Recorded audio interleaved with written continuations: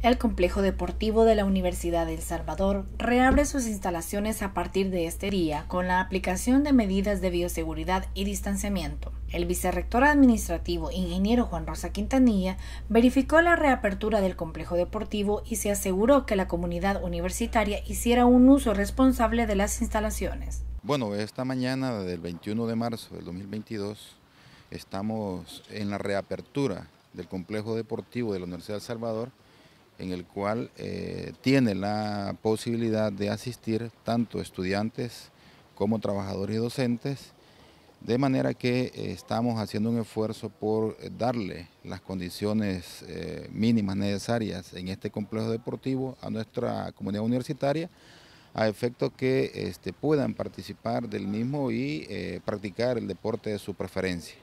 invitando a la comunidad universitaria para que haga uso de este espacio en el cual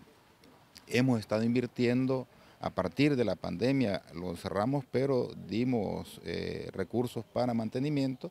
e incluso compramos equipo que ha permitido rehabilitar este complejo deportivo de forma que este, de nuevo eh, nuestra comunidad universitaria tenga un espacio en donde practicar un deporte de su preferencia. Entonces el complejo deportivo viene a ser como aquel oasis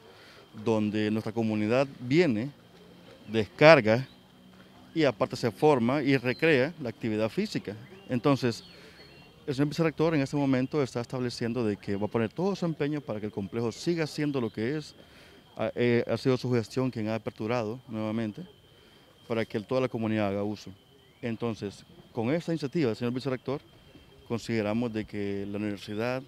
y toda la comunidad se verá beneficiada de aquí a lo que resta del año. Además, el ingeniero informó que se firmará una carta de entendimiento con el Instituto Nacional de los Deportes de El Salvador, INDES, que permitirá oficializar la utilización de las instalaciones de la universidad como vía centroamericana en los Juegos Centroamericanos y del Caribe de San Salvador 2023. El Consejo Superior Universitario ha, aprobado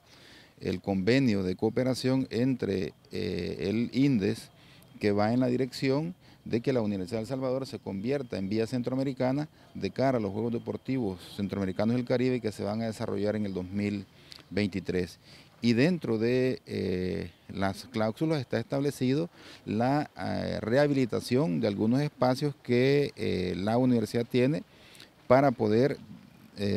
tener de forma completa eh, las instalaciones del complejo deportivo y poder atender a los más de eh, 5.000 deportistas que se harán presentes en el 2023. La comunidad universitaria puede utilizar las instalaciones en el siguiente horario, de lunes a viernes de 6 a 8 de la mañana y de 11 de la mañana a 2 de la tarde. La piscina olímpica tiene un horario especial que permite su uso solamente de martes a jueves de 6 a 8 de la mañana y de 11 de la mañana a 2 de la tarde.